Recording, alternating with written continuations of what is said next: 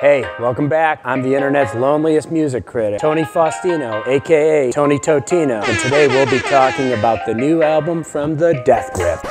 Oh, but you review Death Grips every week.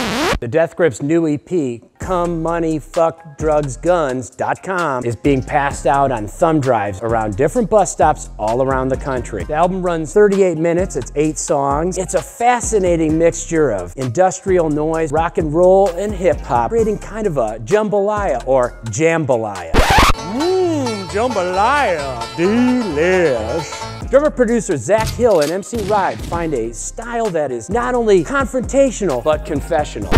And now for your confession, my son.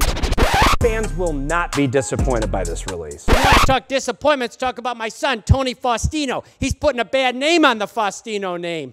I sent that kid to UConn. It took him six years to graduate. By the time I graduated, I had a muscle car already. College is a time for finding yourself. I understand why it took you five years at UConn, six if you count the year off. Listen to bands that have the C word in the title. I lent him three months' rent already, okay? And he's buying records with it.